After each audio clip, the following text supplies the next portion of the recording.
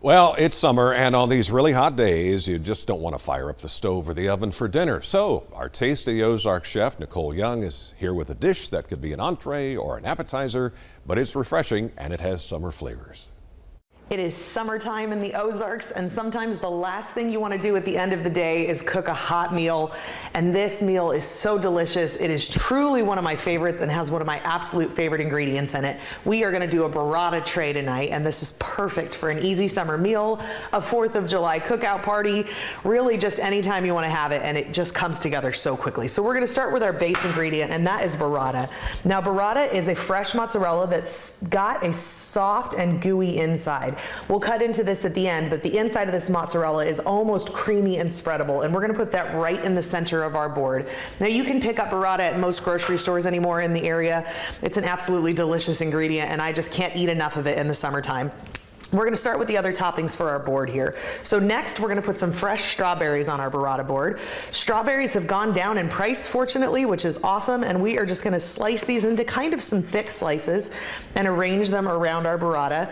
There's some sweet, some heat, and some savory to this board. It's kind of got every flavor profile you could possibly want there. And all of these accent ingredients just go perfectly with the main, which is your burrata. And once we've got our strawberries arranged around, we are gonna go ahead and add some super thin sliced jalapeno.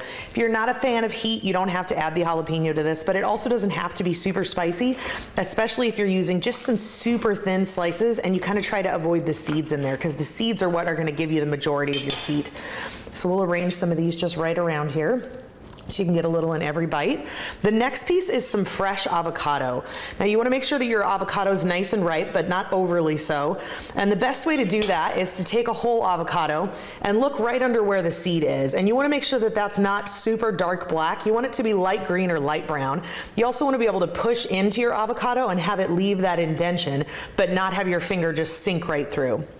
So once we've got this cut into bite-sized pieces, we are just gonna scoop this right out onto our tray here. And I kind of just like to arrange it right around. Have it be a little messy, a little artful here. However you wanna do it is just fine. And then finally, we're gonna put a little fresh herb on here. Now, basil goes amazingly well with everything that's on this tray. It goes well with heat, it goes well with sweet, it goes well with savory, and it always goes well with fresh mozzarella. So a little rough chop on some basil right over the top here. And then we're gonna serve this with a nice dense bread. I like a French bread here. And I like to cut it into just some rustic size pieces. Doesn't have to be super thin. You can toast this if you want to. For the purposes of this recipe, I'm actually not gonna be toasting this bread. We're gonna put it just all around the edges. And then finally, to bring this all together, we're gonna give it a really nice drizzle of some really good high quality olive oil. And then a sprinkle with some kosher salt. And then a little coarse ground black pepper.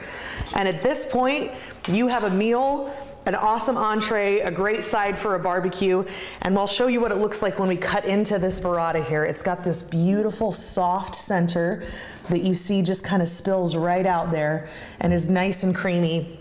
We can spread this right onto a piece of bread, add in some of our other ingredients on our plate here, have an amazing bite that just screams summer and is delicious and wonderful and just came together so quick without any heat or any cooking. Enjoy. We'll see you guys next time on Taste of the Ozarks.